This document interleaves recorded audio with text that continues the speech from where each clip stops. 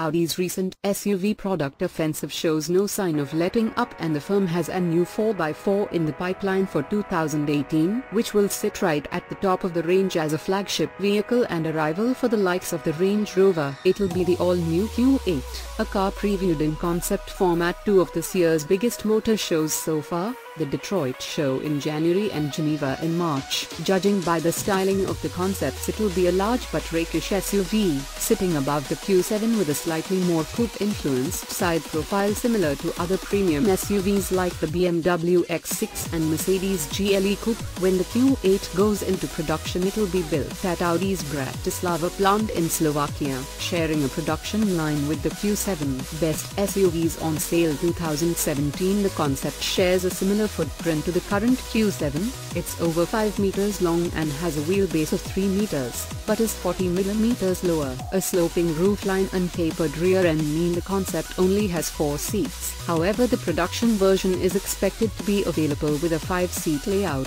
The Q8 concept has a 630-liter boot